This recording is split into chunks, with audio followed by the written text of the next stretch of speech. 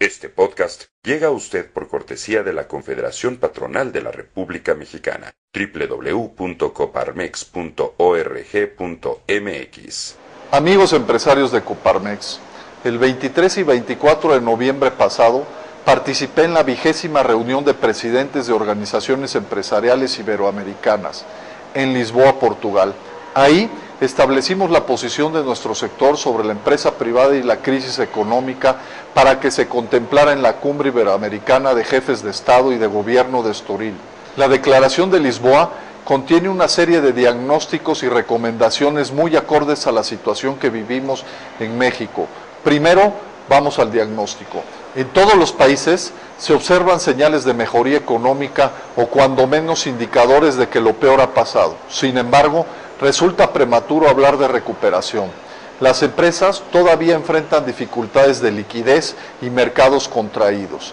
Y lo más importante, con el ritmo de la reactivación actual, no será posible reducir significativamente el desempleo en el corto plazo. En el caso de México, de ninguna manera estamos en condiciones de cantar victoria. Para el año que viene se estima un crecimiento del PIB de entre 2 o 3%, pero a ese ritmo apenas a finales del 2012 volveremos al nivel previo a la crisis. En el 2010 la economía mexicana va a salir de la peor recesión, pero no del estancamiento. Solo si fortalecemos el mercado interno y aumentamos la competitividad del país, podremos revertir con contundencia la falta de crecimiento, el desplome en la inversión productiva y los efectos de la caída de la producción petrolera. La Declaración de Lisboa postula seis recomendaciones muy puntuales en este sentido.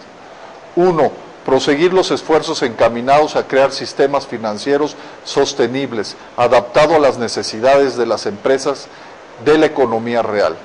Dos, facilitar la actividad empresarial y la generación de empleos con acciones de mejora regulatoria, financiamiento accesible y reducción de costos administrativos. 3.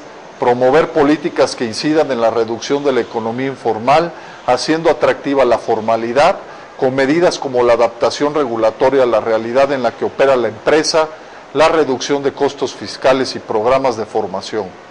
4. Convertir las necesidades de las pymes en una prioridad nacional.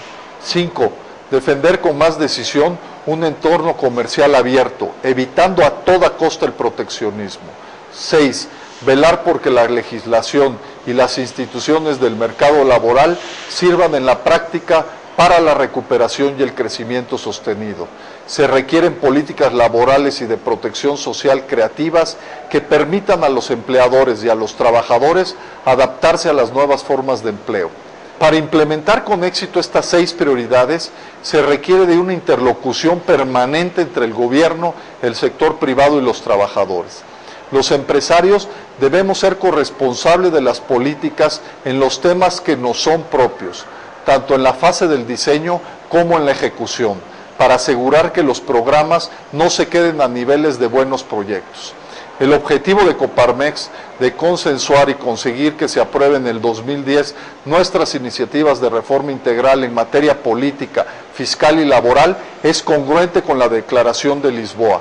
Como empresarios, tenemos la responsabilidad de fortalecer los pilares esenciales del desarrollo sostenible de las empresas, tal como se establece en la declaración. Democracia, Estado de Derecho, transparencia en las instituciones públicas, propiedad privada con seguridad jurídica, estabilidad política y macroeconómica, diálogo social y responsabilidad social. La responsabilidad de cambiar a México es de todos. Estamos esperando las valiosas propuestas de nuestros socios y centros empresariales. Un saludo afectuoso.